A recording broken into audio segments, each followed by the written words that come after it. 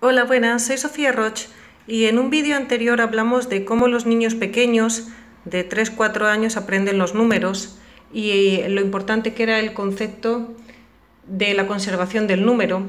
Y ahora quería presentaros una forma de cómo enseñar eh, el nombre de los números a los niños. Y una forma podría ser la presentación en tres pasos.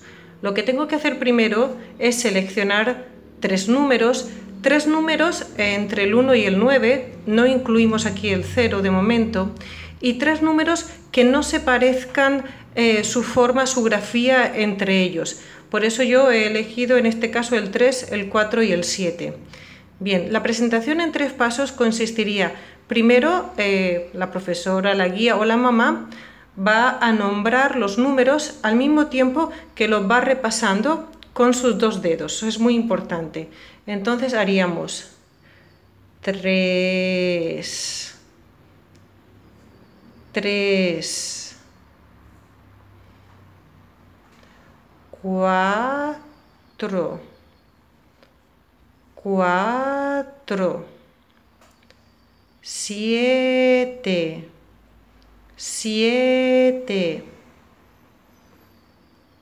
En el segundo paso le preguntaríamos al niño, ¿puedes indicarme dónde está el 4? ¿Puedes indicarme dónde está el 7? ¿Puedes indicarme dónde está el 3? Probablemente el niño con una sola presentación una vez no va a saber los números. Si el niño se equivoca, lo que vamos a hacer va a ser repetir los tres números. 3, 4, 7. En el segundo paso le preguntamos al niño, ¿puedes decirme dónde está 4? Bien.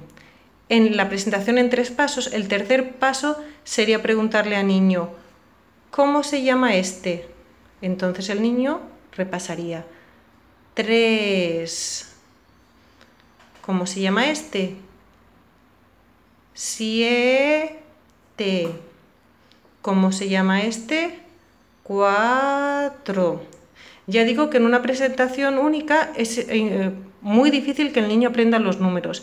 Entonces lo que tenemos que hacer es seleccionar tres números y durante varios días seguidos le presentamos al niño en diferentes ocasiones los mismos números y a lo largo de una semana o dos semanas vamos preguntando los números hasta que vemos que el niño sabe estos tres números. Cuando lo sepa voy a coger otros tres diferentes eh, que no se parezcan su grafía para que el niño no los confunda.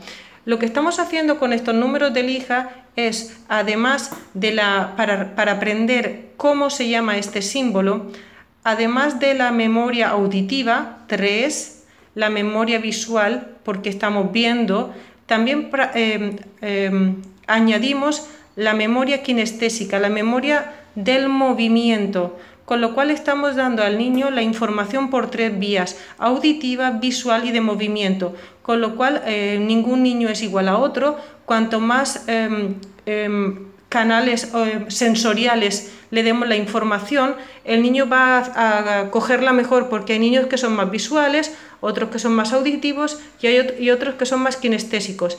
Con esta presentación en tres partes y haciendo, mirando visualmente el número, escuchando el nombre al mismo tiempo y tocándolo le damos al niño la información a través de dos canales sensoriales, con lo cual el niño lo va a aprender mucho mejor. Eh, espero que os haya gustado. Muchas gracias. Adiós.